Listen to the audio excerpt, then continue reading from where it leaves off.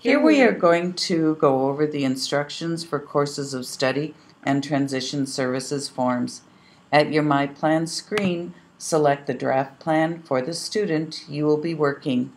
On our example, you will see Alex Any student has both an active and a draft plan. Please select the draft plan.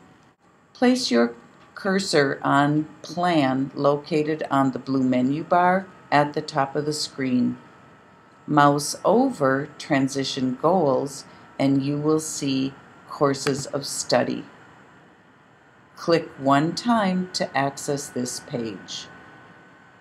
This form is required on IEPs completed during spring transitions for 8th graders through 12 plus. Fill in the applicable information for the school year, credits earned, and courses. Fill this out using the same information as you have. We will populate this drop-down at a later date. At the bottom of the screen, select 66 credits from the drop-down and enter the anticipated graduation month and year. The Child Study Secretary will complete the procedural safeguard information.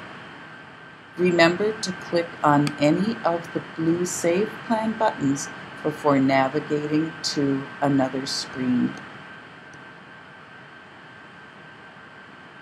Now we will complete the Transition Services page. Place your cursor on Plan located on the blue menu bar at the top of the screen.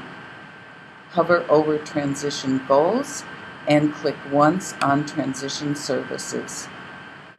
Complete each area as in the building template that was previously used. No longer use parent as an agency.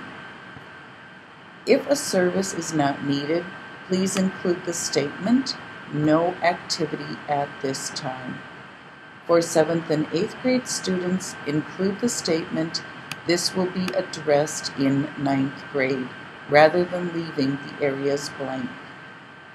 Remember to click on any of the blue Save Plan buttons before navigating to another screen.